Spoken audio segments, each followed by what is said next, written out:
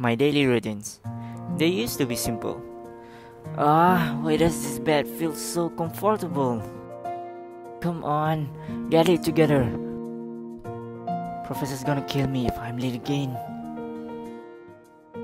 Breakfast of champions. A single slice of bread. And where's the jam? Did I even buy a jam?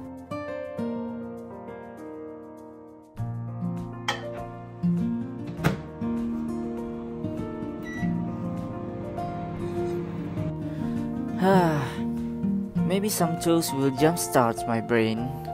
Got to remember all those Shakespeare's quotes today. To be or not to be. Wait, what was I thinking of again?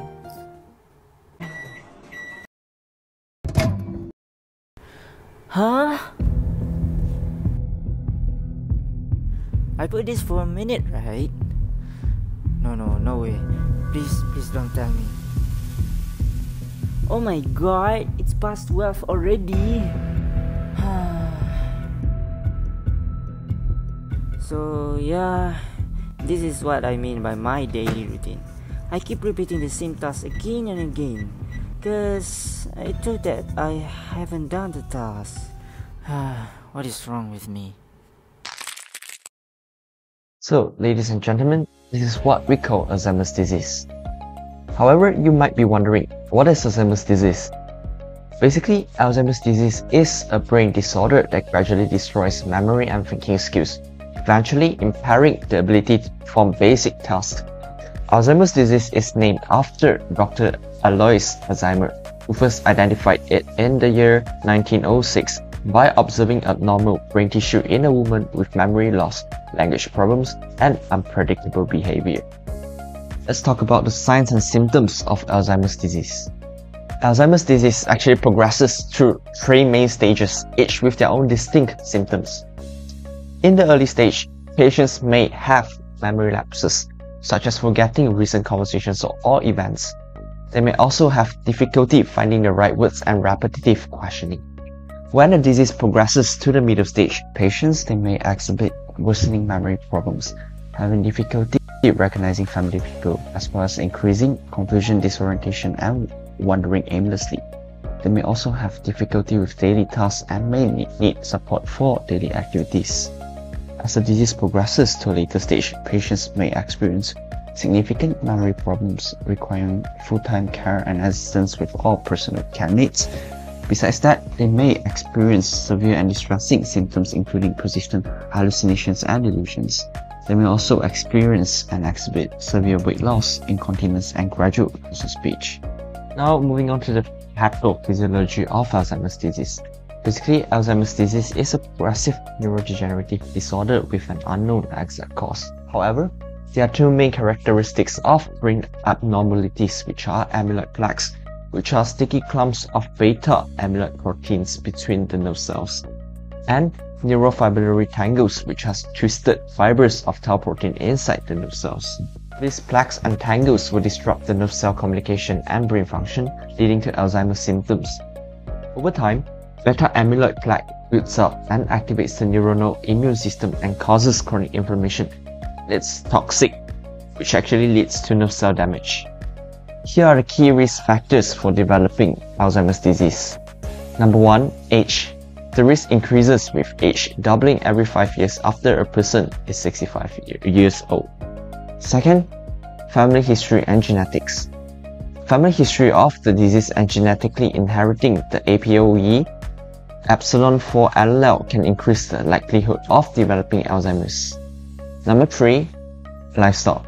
Risks are higher for individuals with underlying health conditions such as cerebral vascular diseases, diabetes, hypertension, or a history of traumatic brain injury. Now, let's look into environmental risk. Firstly, low educational level. Numerous studies have shown that individuals with lower educational attainment have been found to be at a higher risk of developing AD compared to those with higher educational attainment. Next, decreased brain size. MRI studies have consistently shown that individuals with Alzheimer's disease have significant brain atrophy compared to healthy controls. Therefore, individuals with smaller brain volumes, especially in specific regions like the hippocampus, have higher risk to develop Alzheimer's symptoms as they age. Let's take a look into the diagnostics criteria by Diagnostical and Statistical Manual of Mental Disorders, or rather known as DSM 5th edition. So firstly, cognitive impairment should at least include one of the following criteria. First, impaired memory. Second, aphasia, which is having language difficulty. Third, apraxia, which is decreased ability to perform motor functions. Fourth, agnosia, which is inability to recognize objects. And fifth, disruption of executive functions such as a lower ability to plan and organize. Apart from that, you have symptoms which must interfere with normal work social activities. The symptoms must be acquired and represent significant decline from a previous level of functioning. The symptoms are of insidious onset and progressive based on history of serial mental status examination. And last but not least, the symptoms are not occurring during the course of delirium. Tests can be performed to rule out any abnormality of any indicators in the body. Number 1. Vitamin B12 and folate level. Vitamin B12 is crucial for neurological function, DNA synthesis, and red blood cell formation. Folate is essential for DNA synthesis, repair, and methylation. Deficiency can lead to megaloblastic anemia and neuropsychiatric disorders contributing to cognitive decline. Deficiency can lead to cognitive decline and neuropathy which can mimic or exacerbate symptoms of Alzheimer's disease. Number 2. Thyroid function tests in order to rule out any hypothyroidism. Thyroid hormones are vital for brain development and function. Hypothyroidism can cause symptoms such as memory impairment, depression, and slow mental processes, which can mimic or worsen Alzheimer's symptoms. Complete blood count, liver function tests, and renal function tests can also be done too to rule out any underlying condition of the patient. These tests can help to detect anemia, infection, hematologic conditions, hepatic encephalopathy, uremia, which can cause confusion and cognitive impairment. Furthermore, the Folstein test. It is a mini mental state examination MMSE that consists of 11 questions that doctors and other healthcare professionals commonly use to check for cognitive impairment such as problems with thinking, communication, understanding, and memory. For the scoring, more than 24 equals to normal cognition, 19 to 23 equals to mild cognitive impairment, 10 to 18 indicates that the patient has moderate cognitive impairment, and less than 9 indicates that the patient has a severe cognitive impairment. Maybe I can find some things on the internet.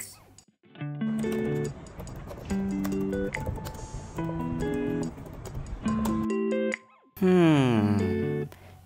This one seems interesting.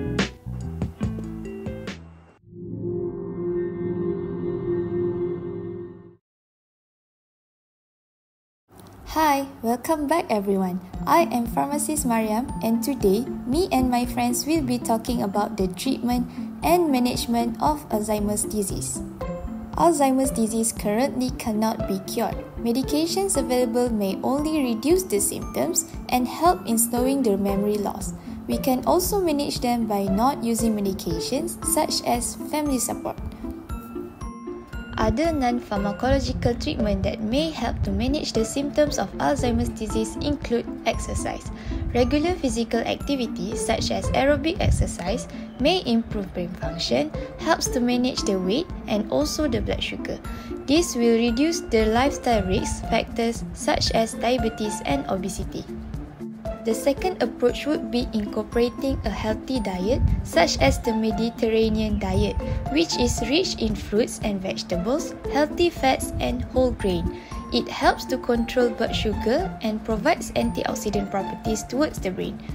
Getting enough good quality of sleep is also important for brain health.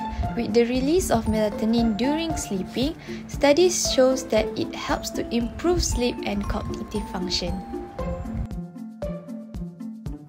One type of medication indicated for Alzheimer's disease is called cholinesterase inhibitors.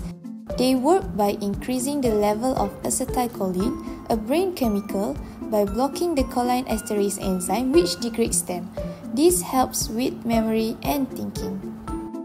Three medications that work by this way and are approved by the FDA are donepezil, galantamine, and rivastigmine. They are able to treat mild to moderate types of Alzheimer's disease.